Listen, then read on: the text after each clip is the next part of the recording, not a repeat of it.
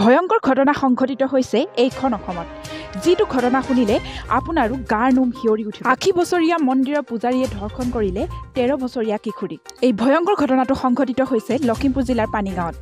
মন্দিৰত প্ৰসাদ দিয়া চলেৰে আশী বছৰীয়া বৃদ্ধা পূজাৰীয়ে ধৰ্ষণ কৰিলে তেৰ বছৰীয়া কিশোৰীক। গাৰ নোম শিয়ৰি উঠা জঘন্য কাণ্ড এইখন অসমত। কি বুলি কৈছে ছোৱালী আপোনাৰ ছোৱালীয়ে কৈছে মোক বাবাই। বাবাজনৰ নাম কি? বাবাজনে কৰিছে।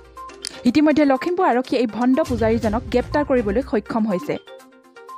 পবিত্ৰ মন্দিৰৰ পূজাৰীয়ে যদি এনেকুৱা জঘন্য কাণ্ড সংঘটিত কৰিব পাৰে তেনেহ'লে সমাজৰ আন ব্যক্তিসকলক আপুনি কিদৰে বিশ্বাসত ল'ব?